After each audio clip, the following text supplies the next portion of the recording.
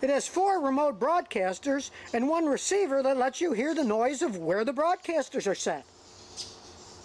The broadcasters come with little clamps that clamp onto the area you want to listen to noise on.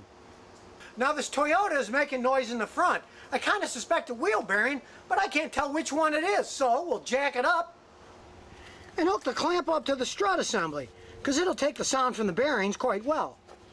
Now we don't want the broadcaster to be damaged, so we'll get a little handyman's helper duct tape and tape it to the hood so it doesn't fall off.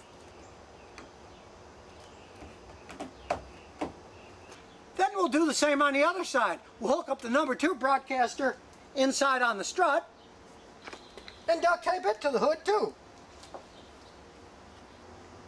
Then we'll get the wireless receiver